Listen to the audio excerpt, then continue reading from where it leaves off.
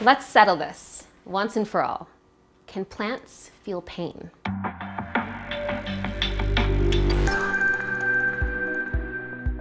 First, let's talk about pain.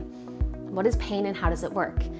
Humans and animals perceive pain through sensory nerve cells, the same type of cells that transport information from our senses, allowing us to smell, see, hear, taste, and touch. These cells form a network that carries messages from the skin, muscles, and organs to the spinal cord and brain. The brain then responds by sending back messages to the pain site that promote the healing process. It's important to remember that pain is also a subjective emotion, not just a physical sensation. Emotional pain involves the same regions of our brains as physical pain, meaning the two are closely linked. Neural systems like ours and other animals are one way to process information, but not the only way. Even though plants don't have nervous systems, they can respond to stimuli. For example, when an aphid attacks a leaf, this sends an electrical signal that goes from leaf to leaf to tell the plant to start protecting itself. But responding to damage does not mean the plant is in pain. Unlike us and other animals, plants don't have the specific type of receptors, called nociceptors, which are programmed to respond to pain. They also, of course, don't have brains, so they lack the machinery necessary to turn those stimuli into an actual experience. This is why plants don't care when we eat them. Who does care when we kill or hurt them? Pigs, cows, chickens, turkeys, fish, even lobsters, and likely just about all the other animals humans eat. Humans and many other animals, especially mammals and other vertebrates, or animals with a backbone, all developed similar central nervous system features.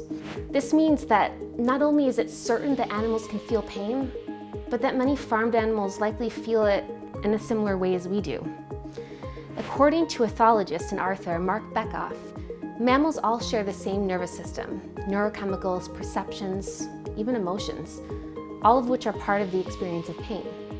Birds too feel pain, as we mammals do. In a 2000 study, injured chickens chose food containing a painkiller when subjected to pain and allowed to choose their own diet. Maybe you're asking, what about fish? Well, actually, it's widely accepted that fish can feel pain, in her book, Do Fish Feel Pain? biologist Victoria Braithwaite says there is as much evidence that fish feel pain and suffer as there is for birds and mammals. Scientists know that animals on factory farms experience not just physical pain but emotional suffering as well.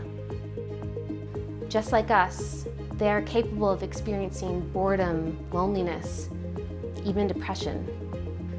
Okay, let's go back to plants. Even if you still after all this science, believe plants can feel pain, remember we actually harm more plants by eating meat. That's because it takes up to 20 pounds of grain to produce just a pound of beef. So if you were to eat the grain directly, you'd spare more animals and plants.